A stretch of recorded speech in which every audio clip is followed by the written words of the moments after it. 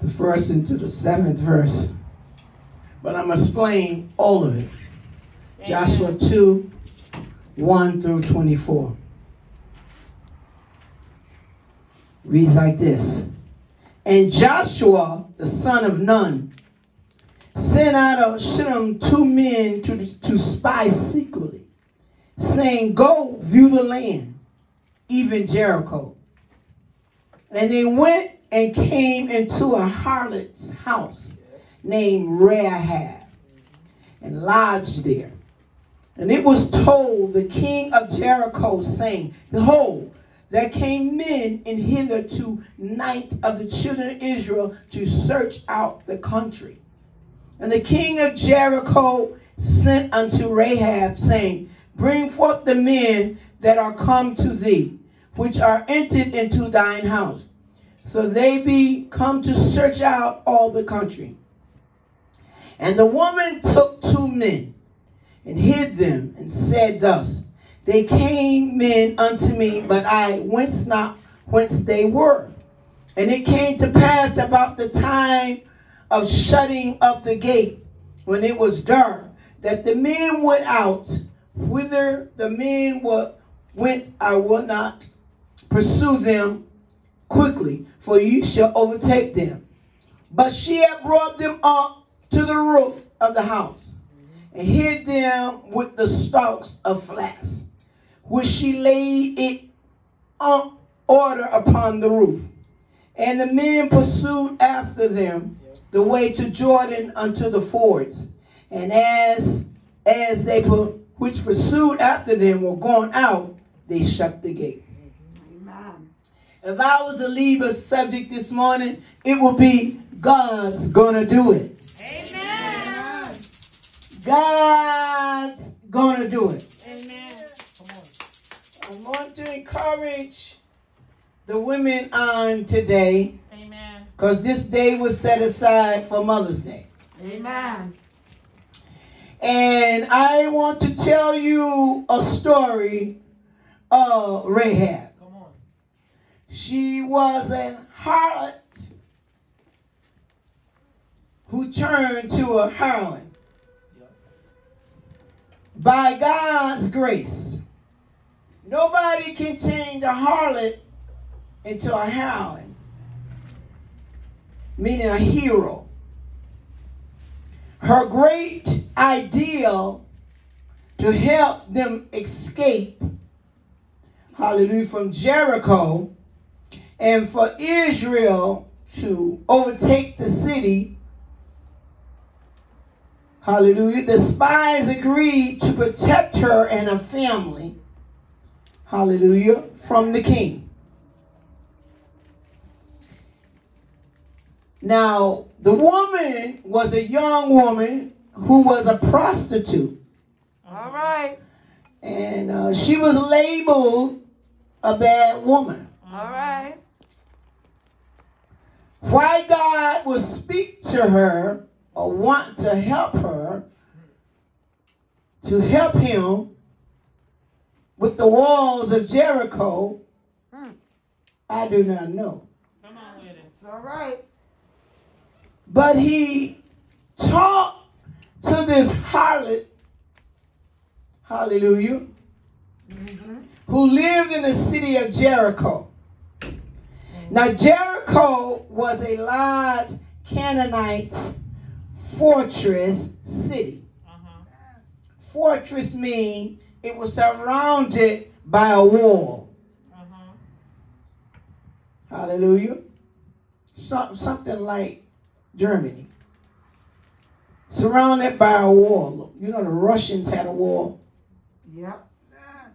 Fortress, it was surrounded by a wall, Jericho. And it was direct, directly in the path of the Israelites. They had to go cross Jericho. God's chosen people was Israelites who had just crossed the Jordan River before proceeding into battle. Joshua and Caleb were the two spies who went into the city of Jericho. Uh-huh. and they knocked on Rahab's door. Now Rahab lived right on the outskirts of Jericho. Hallelujah. Amen. Where all the poor people resided. Okay. And Rahab answered the door, and the two spies said, We are the Israelites. Can we come in? Now, God had already talked to Rahab's heart. Uh-huh. So she proceeded to let them in. Amen. Hallelujah. And the spies began to tell her, hallelujah, where they were from and what they wanted to do Amen. to take over Jericho. Uh-huh. And she didn't tell them what the Lord had said. She said, Well, I'm going to hide you on top of my roof mm-hmm. because I have some loose flax up there. It's coming apart, my roof. So you can let the flax cover you. So she began to show them where she was going to hide them underneath the roof, put the flask on them so the spies wouldn't be able to see them in her house. Yes, yes, yes. So Jericho walls, Rahab was known, hallelujah, for, for to being a prostitute. And, and, and so when the strangers came into her establishment, hallelujah, they knew what she was doing, hallelujah, because it was a tavern. And, and, and they knew exactly what a tavern was. Hallelujah. It was for many men to come in and lay with who they wanted to lay with. Yes, yes. But uh, not only was she a prostitute, she was a smart woman. And she realized, hallelujah, what the men that, that are, were spies were up to. mm-hmm. And so she was prepared to do what God had put in her heart. And how many knows that God not judges you by your outward appearance? God judges your heart. Yeah. And since the Egyptians, hallelujah, had already defeated, hallelujah, the Egypts in the Red Sea, she had heard about that. And so when Rahab, hallelujah, made her decision to, to take the two spies and, and hide them, she was well aware of what the Israelites were capable of. Amen. And, and Jericho, the, king of Jericho, they feared the Israelites. Hallelujah, because of the, the way that God illustrated himself for the chosen people. So Rahab hid the two spies on the top of the roof, how they're underneath the bundle of flesh. And when the soldiers arrived to look for the spies, they could not find them anywhere. Yeah. They looked all in the house, looked all outside the house, went through Jericho. They could not find the spies anywhere. Come on, Bishop. Hallelujah. And, and when they left, Rahab instructed the spies. Now they're going to look for you for three days. So you should leave before the gate closes. Hallelujah. Go into the mountains. And they won't be able to see you. And you stay there for three days. Uh-huh. Then you come out and you attack. Yeah. Under her instructions, hallelujah, she said to the spies, Now, I hid you in my house, and they did not find him. Now, what you going to do for me? And Joshua and Caleb said, Well, what do you want? Come on. I want you to save me mm. and my whole house. Come on, Come on. I don't want no money. I don't want no no jewelry. I want salvation. I want you to save me. Hallelujah. And my house. How many know a mother will do anything for her family? Hallelujah. Rahab, hallelujah, was already taking care of father. Mm-hmm. He, she was already taking care of her mother. She was already taking care of sisters and brothers. Hallelujah. But she wanted, hallelujah, something for herself. She wanted God to save her. She knew what she was doing. She was laying on her back to support her family. But God wasn't looking, hallelujah, about her laying on her back. Come on, Bishop. God wasn't stuttering what she had done. Hallelujah. God was looking for what she was going to do. How many know when people count you out? When keep, people count these mothers out. Hallelujah. Because they're not married, they're single mothers. Hallelujah. Yeah, Having a child out of wedlock. Everybody's labeling them as being a whore. Yeah. Hey, go ahead. Hallelujah is being a harlot. Hallelujah. But how many know God can turn a harlot into a heron? He can make you a hero like he did Rahab. Hallelujah. Rahab began, hallelujah, to save the people. And Joshua and Caleb told her, take that string that you had when you helped us. Hallelujah. Put that outside your window. Yeah, yeah. Hallelujah. And when they come to attack the city of Jericho, Uh-huh. your house will be spared because we will see the red scarlet string. Come on, Yeah, come on. yeah. How many know that God will leave you an escape? How many know the mothers are sometimes no food in the house? Hallelujah. How many know that sometimes you don't have no money to pay your rent or mortgage? Hallelujah. You can't see your way. Hallelujah. But God will speak to your heart. Hallelujah. And tell you, hallelujah, to get on your knees and pray. Hallelujah. Tell you to give your last dime in the offering. Hallelujah. God will make a way. Hallelujah. If you plant that seed, hallelujah, it will grow. How many know that Rahab, Rahab, hallelujah, obeyed God? She told them just where to lay their head. Hallelujah, go up on my roof. Hallelujah, and go up under my boundondo of flax. Hallelujah, cover yourself up. Hallelujah, they won't be able to find you. Hallelujah, Rahab was obedient to God. Hallelujah, you find yourself just obeying God, you'll find your situation change. You'll find that your circumstances will change. Yes, yes. Hallelujah. If you take time out to obey God, He will not only save your family, He will save you. Hallelujah. And when Rahab, hallelujah, began, hallelujah, to, to realize what God had done, He had took the Israelites, hallelujah, and let them come into the city of Jericho. Hallelujah. And did they, did you know that they conquered Jericho city? They conquered the city and conquered the king. Hallelujah. And God prevailed. Hallelujah. And it goes to tell me, hallelujah, that Rahab family was spared. Everybody was destroyed. Everybody was murdered and killed. Hallelujah. Everybody was gone. Except for the family of Rahab. Come on, Bishop. And don't you know she stayed with the Israelites and she ended up marrying Solomon, huh, who was an Israelite, huh, a son of Judah. huh. Hallelujah. huh. And when Rahab huh, married Solomon, huh, Solomon was Boaz's son. Hallelujah. The son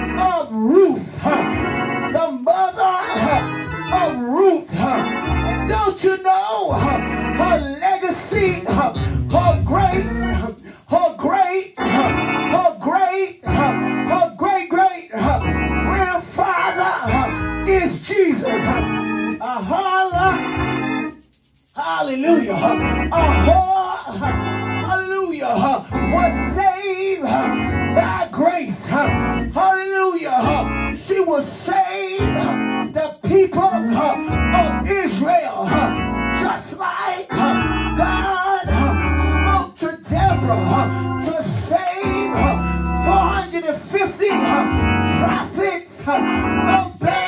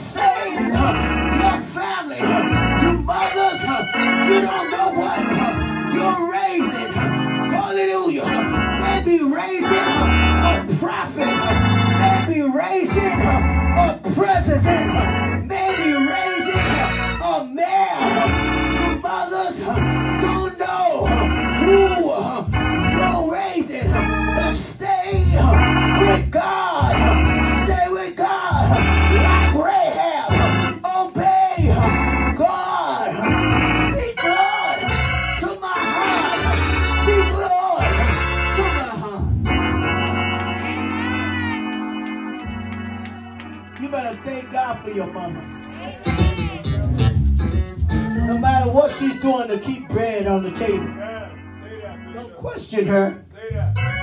Stay in your place. Hallelujah. Because mama had a talk with Jesus. Hallelujah. And God's going to do it. God did it. He saved Rahab's house. He saved her family. God's going to do it. Nobody else could do it. Joshua couldn't do it. Caleb couldn't do it. But God's going to. When everybody lied on you and talked about you, said you was to be nothing. But God said, wait a minute. I'm still, still God. God's to do it. Hallelujah. God's to deliver. God's to free you.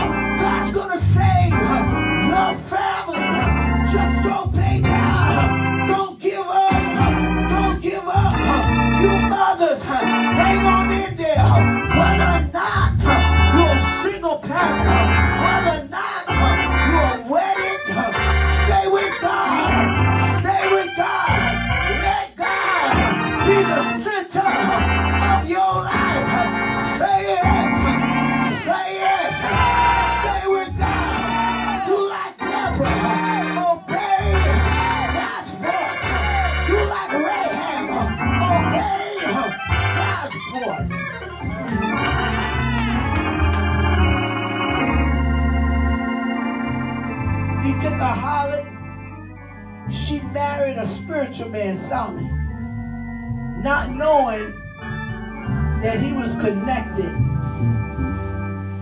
to Jesus. Amen. Her legacy, her great great grandfather was Jesus.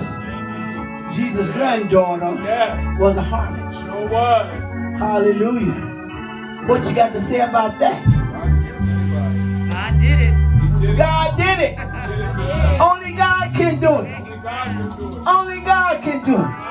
God's gonna do it. You're not gonna stop what He's gonna do. Come on, Bishop. Whatever God predestinated, He's gonna do it.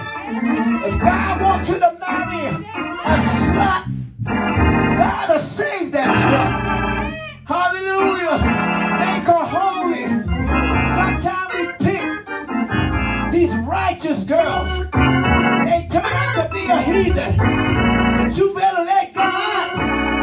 Lead you. You better let God guide you. You better listen to the still voice of Jesus. Hallelujah.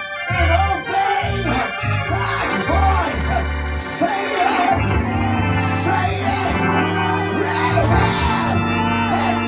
idea what was in store for her. She had no idea. And why God used her, I do not know.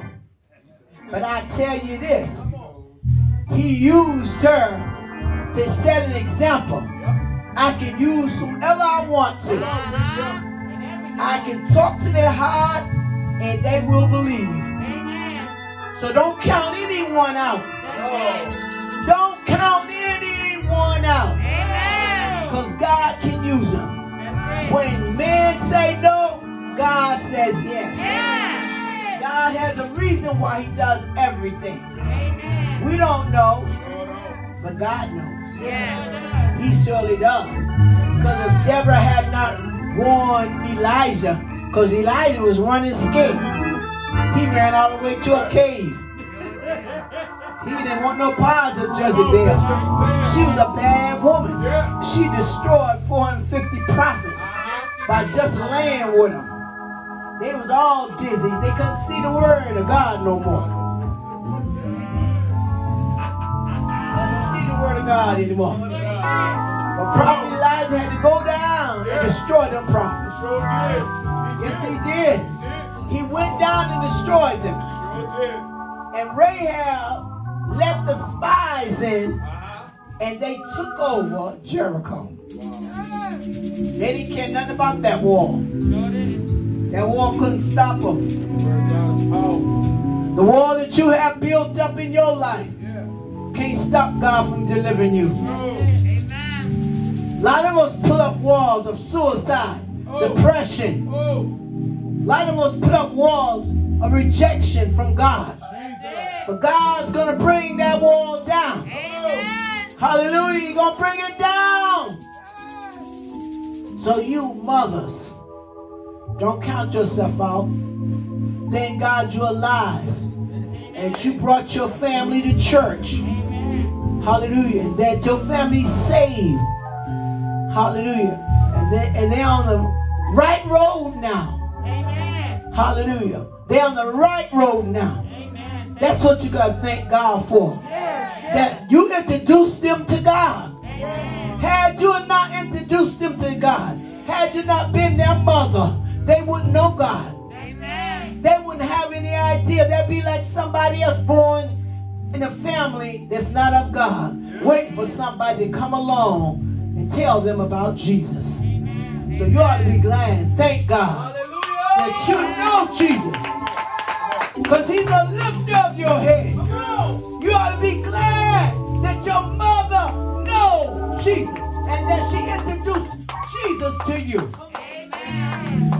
Hallelujah. Thank God.